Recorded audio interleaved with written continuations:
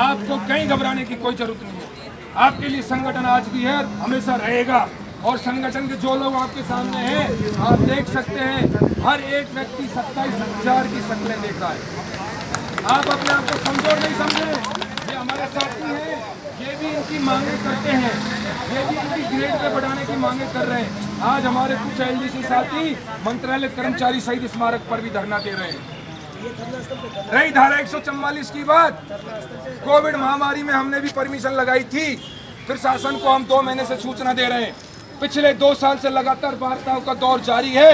मुख्यमंत्री महोदय से लेकर ओएसडी महोदय, चीफ सेक्रेटरी, ऐसा कोई व्यक्ति नहीं, सचिवालय में हमने इतने चक्कर काटे, इतने चक्कर काटे, हम नहीं चाहते आपको परेशान करें।